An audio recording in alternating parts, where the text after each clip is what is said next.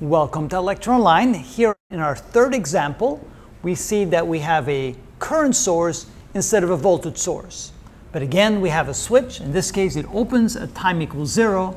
So what we need to do first to find the initial current through the inductor, we need to draw the circuit up the way it looked before the switch opens. That means when t is less than zero. So when the switch is closed, the circuit will have this particular equivalence to it. So let's draw it. There's the current source, 15 amps. We still have the 24 ohm resistor. This. Now notice over here, if we're in a steady state situation, we have a steady current flowing to the circuit, that means the inductor will act like an open circuit. If this is an open circuit, that means this point has the same voltage as this point, which means no current will flow across the 5 ohm resistor, and so the equivalent circuit of this portion, with the switch closed, will be simply these two resistors in parallel. We'll have a 12 ohm resistor and we'll have an 8 ohm resistor, and these two components act like they're not there. So this acts like it's an open, and this acts like it's a short. So we have a 24 ohm resistor over here, here we have a 12 ohm resistor, and here we have an 8 ohm resistor. Next, what we need to do is we need to find the initial current through the inductor, which means we need to find this current right here. But in order to do that, let's find the current through each of the three branches. Let's call this I sub 1, let's call this I sub 2, let's call this I sub 3, and that will be the current through each of those three branches before the switch is opened. How do we do that? We have three resistors in parallel connected to a single 15 amp current source. Well, to find the current through the first resistor, I through the first resistor, that's equal to the total current of the circuit, which is the 15 amps, times the ratio of the product of the other two resistors, so that would be 12 times 8, divided by the three products of the combination of the three resistors. In other words, this resistor times this resistor, so it'll be 24 multiplied times 12, I may need a little bit more room, plus these two resistors, that would be 12 times 8, plus those two resistors, uh, let's see here, no, I have those two, oh, I have those two, I don't have those two yet, all right, so that would be 24 times 8. There we go. So, oh, I need a bigger parentheses. That means to find the current through this branch, we multiply the resistors of the other two branches divided by the sum of the product of these two, these two, and these two resistors. That'll give us the current. Now we need a calculator for that. Plus 12 times 8 plus, so in the denominator we get 24, 24 times, times 8 equals, that's 576. And so let me write that out. This is equal to 15 amps times the ratio. In the numerator, we'll get uh, 96. In the denominator, we get 576.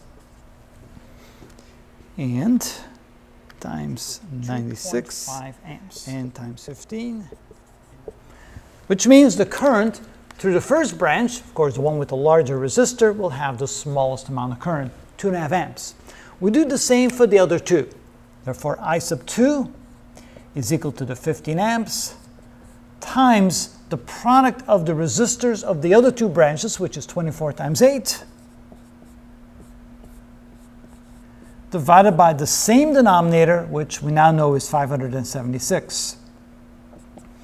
And so we get 15, 24 we get 5 amps. 8 divided by 576. And now for the third current, I sub 3, that would of course be 15 minus the other two, but just so you can see that it works in all cases, we have 15 amps times the ratio of the product of the resistance of the other two branches, 24 times 12 divided by 576. And notice that's one and a half times the size of this, which means it's 7.5 amps. And sure enough, when you add the three together, 2.5 plus 5 plus 7.5 adds up to 15 amps, so we know that's correct. All right, now that we have the three currents, we realize that this here represents the initial current through the inductor, so the 5 amps is equal to the initial current through the inductor. Now we still need to find the time constant. To do that, we're going to draw the circuit after the switch is closed, find the equivalent circuit, and find the time constant. So at t greater than 0,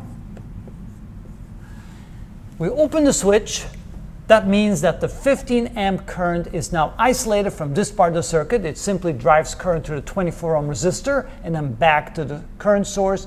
This is on its own, so let's draw that circuit right there. So we end up with 12 ohm resistor, an 8 ohm resistor, a 5 ohm resistor. Here we have an inductor, like that. So we have 12 ohms, here we have 8 ohms and 5 ohms, and that's a 2 Henry inductor. Now we need to find the equivalent circuit. Notice relative to the inductor, from this point to get to this point, we have two paths. This path, which combined will give us a 20 ohm resistance. This path gives us a 5 ohm resistance.